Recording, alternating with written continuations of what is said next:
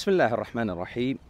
The common question I've gotten recently, really, from two different people, one of them essentially a high schooler, around 16, and the other one is about the age of 40, asking the same exact thing in different contexts, right? The one at 40 or whatever the age is was asking about how to change fields and how to get started. And given that he wasn't into cybersecurity or IT for that matter, his question was more along the lines of where do I start? Do I start in IT? Do I start in cybersecurity? Do I start in something else? The question for the high schooler was generally where do I get started to then eventually pursue that course of study in college, university, whatever it is. How can I prepare? Is there a possibility of, you know, getting a heads sort of a head start really? And the answer is the same, right? If you're changing fields or if you're just getting started, number one, understand that you're not going to specialize and become an expert from day one.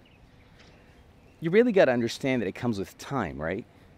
And the fact of the matter is, given that you don't know the field of cybersecurity or IT, or that even within IT could be network, could be operations, applications, systems, and the list goes on. And same for cybersecurity. You could be in the SOC, you could be on red team, blue team, application security, network security, and the list goes on. The best way to start, I would say, is to dabble.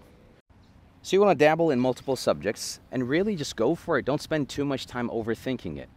Try it out for 30 days, pick two to three to even four subjects of different kinds. You're expected to spend about five to 10 hours a week on them total and see how it feels. You know, you learn it if there's something that's completely unacceptable and you don't find yourself at all interested in it, and you don't see yourself working in that particular subject, drop it off. You'll have gained a general knowledge of it.